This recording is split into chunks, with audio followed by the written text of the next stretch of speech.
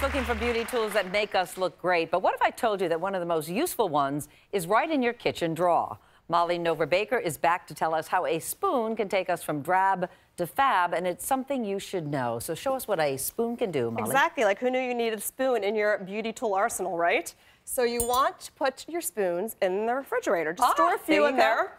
And what you're gonna do is take the chilled spoon, again, not frozen, because you don't want it to stick to your skin, and smooth it along your forehead or anywhere where you have some fine lines. Try to go in one direction.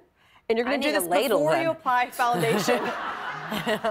no, you don't. Yeah, You want to apply it before you put it. Do it before you apply foundation. Okay. What it's going to do is temporarily flatten and smooth those fine lines. Wow. So when you go to put your foundation on, it's going to give you a really smooth, nice canvas. It won't cake. It's not going to cake. Not going to stick into those lines.